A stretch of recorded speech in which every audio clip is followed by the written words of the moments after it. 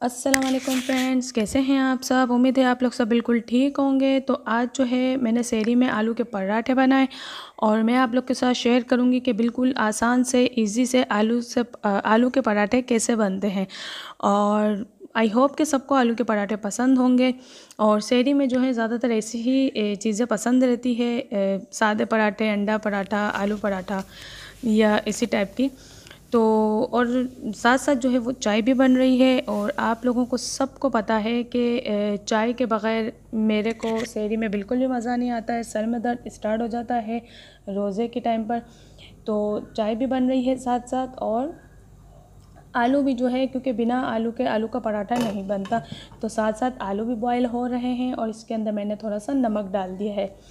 और जो है, आलू उबल रहे हैं और साथ ही में मैंने आटा भी गूंद के रखा हुआ है। इसके अंदर मैंने थोड़ा सा नमक और मक्खन डाला है, ताकि ये यम्मी से बने और गर्म पानी से मैंने गूंदा है। और ये जो है, आटे का डो मैंने तैयार करके रखा है। सॉरी आलू का डोर तैयार कर लिया मैंने, इसके अंदर मैंने लाल मिर्ची हल्दी, काली मिर्ची, नमक और थोड़ा सा चाट मसाला और लाल मिर्ची तो ये सब चीज़ें डाल लिए, जो मेरे हाथ में मसाले हैं मैंने सारे ही डाल दिए और एक जो है वो चाइनीज़ मसाला है। आप लोग कौन कौन यूज़ करते हैं मुझे ज़रूर बताइएगा।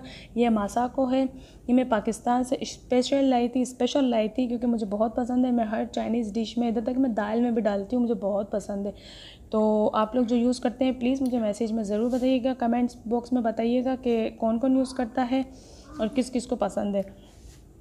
दुबई में ये नहीं मिलता है, मैं पाकिस्तान से लाती हूँ और जो है आटे के पराठा बनाने के बाद मैंने इसके ऊपर अच्छे से इसको लगा दिया है और पराठे जो है मैंने रेडी कर लिए हैं ताकि मुझे जल्दी जल्दी बनाने में आसानी हो।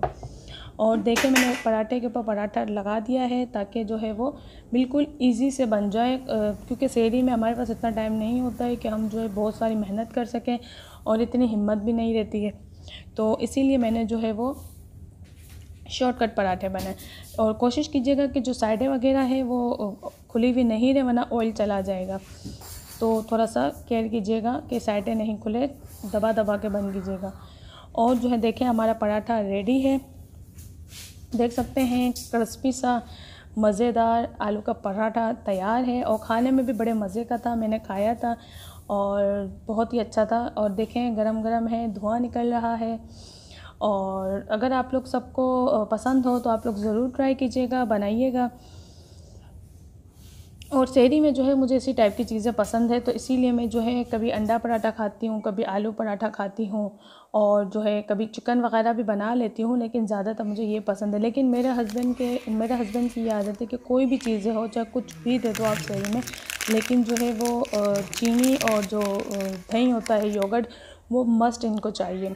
मुझे आदत नहीं है, मुझे तो कुछ भी दे दो, चलेगा, मुझे बस चाय मस्त चाहिए। और मेरे हस्बैंड को भी चाय की आदत तो है ही है, लेकिन योगर्ट और चीनी भी चाहिए।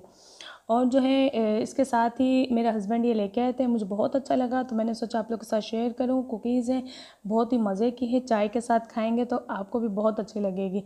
तो मैं तो दुबई में रहती हूँ तो मैंने यहाँ से ये लिया है हर जगह मिलता होगा आई थिंक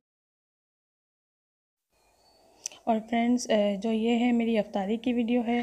तो फ्रेंड्स, अगर आप लोग को मेरा आज का ब्लॉग अच्छा लगा हो तो प्लीज़ आप लोग मेरी वीडियो को सब्सक्राइब कीजिएगा, लाइक कीजिएगा और अच्छे अच्छे कमेंट्स